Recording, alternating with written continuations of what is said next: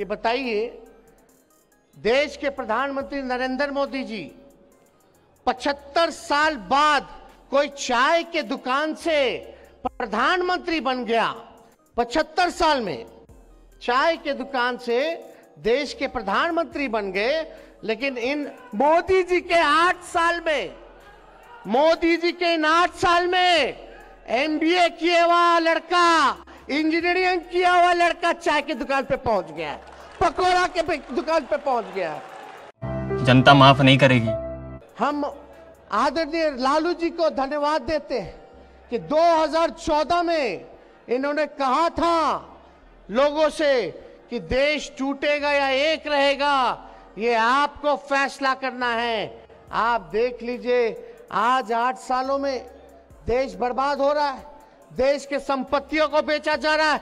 देश के संविधान के जगह आरएसएस का एजेंडा लागू करने का प्रयास किया जा रहा। किसान, मजदूर, नौजवान, सब लोग परेशान हैं। महँगाई की मार। यही लोग ना गाना गाता था भाजपा वाला लोग कि महँगाई डाइन खाई जात है। आज डाइन नहीं भौजाई हो गई है।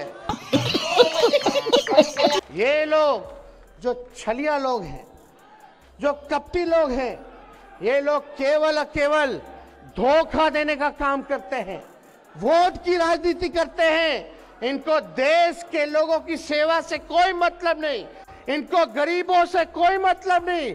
आज बताइए, एक भाजपा का एमपी कौन से डिज़ाइन में लोग लगा हुआ है?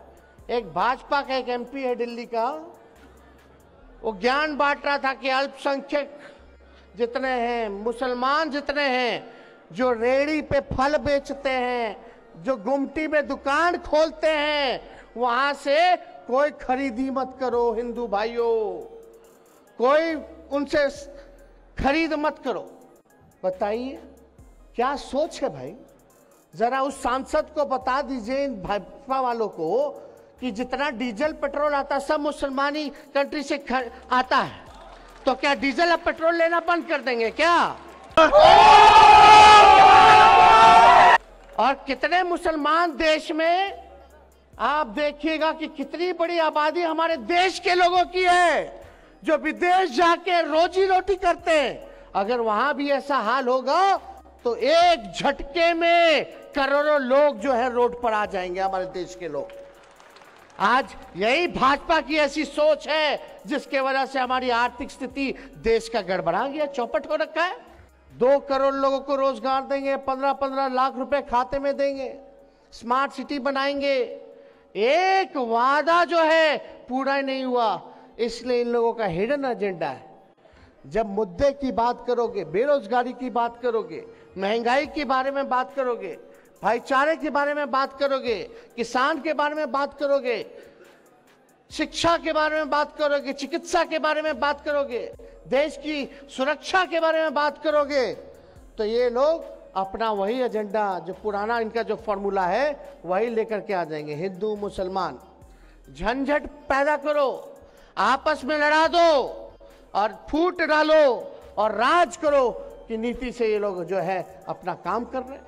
इसलिए अगर कट्टरपंथ का कोई जवाब दे सकता है तो वो समाजवाद ही दे सकता है।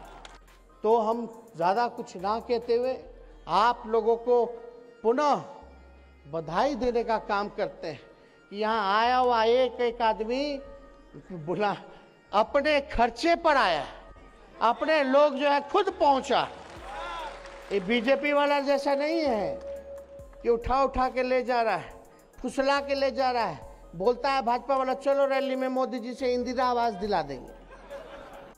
बीपीएल कार्ड बनवा देंगे। तो ये सब वाली पार्टी नहीं। अब बताइए मैं क्या करूँगा? एक बहुत सिंपल सी टिप आपके साथ शेयर करती हूँ। अपने हाथ को इस तरीके से रखिए। If you look at this from your side आपका लेफ़्ट हैंड आपको बी के जैसे दिखेगा और राइट right हैंड आपको डी के जैसे दिखेगा। बी एंड डी बीट थोड़ी मदद रखिए। वे मैं थो तेरा मन पर